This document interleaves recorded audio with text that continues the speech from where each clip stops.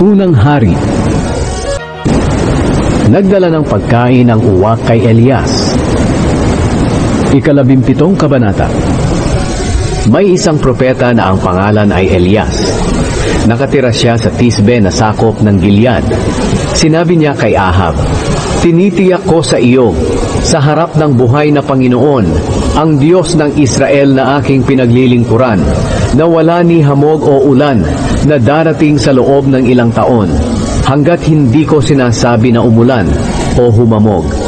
Pagkatapos sinabi ng Panginoon kay Elias, Umalis ka rito, tuntunin mo ang daan pasilangan, at magtago ka sa daluyan ng tubig kerit, sa bandang silangan ng Hordan.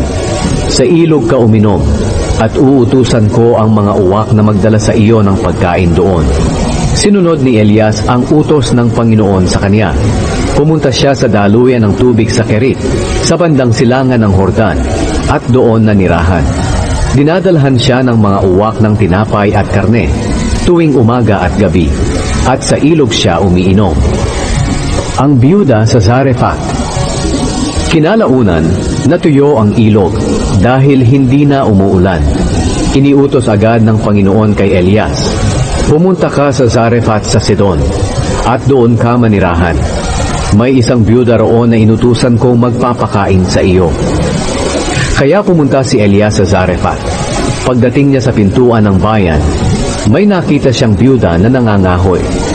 Sinabi niya sa babae, Pakiusap, dalhan mo ako ng kaunting tubig na maiinom. Nang paalis na ang byuda para kumuha ng tubig, sinabi pa sa kanya ni Elias, Pakiusap, dalhan mo rin ako ng tinapay.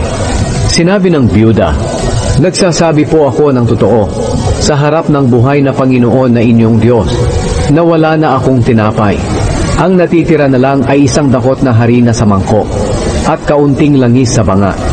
Nangunguha nga po ako ng ilang pirasong kahoy dito para dalhin sa bahay at lutuin ang natitirang harina para sa akin at sa anak ko. At kapag naubos na namin ito, mamamatay na kami sa gutom. Sinabi ni Elias sa kanya, Huwag kang mag-alala. Umuwi ka at gawin ang sinabi mo. Pero ipagluto mo muna ako ng maliit na tinapay mula sa natirang harina at dalhin mo agad ito sa akin. Pagkatapos magluto ka rin para sa iyo at sa anak mo. Sapagkat ito ang sinasabi ng Panginoon, ang Diyos ng Israel. Hindi mauubusan ng harina ang iyong mangkok at hindi mauubusan ng langis ang iyong banga hanggang sa araw na padalhan ko ng ulan ang lupa. Lumakad ang babae at ginawa niya ang sinabi ni Elias. Kaya may pagkain araw-araw para kay Elias at para sa byuda at sa kaniyang anak, sapagkat hindi nauubos ang harina sa mangkok at hindi rin nauubos ang langis sa banga, ayon sa sinabi ng Panginoon sa pamamagitan ni Elias. Kinalaunan, nagkasakit ang anak ng babae. Lumala ang sakit nito hanggang sa mamatay. Sinabi ng babae kay Elias, Ano po ang ikinagalit ninyo sa akin, lingkod ng Diyos? Pumunta po ba kayo rito para patayin ang aking anak bilang parusa sa aking mga kasalanan?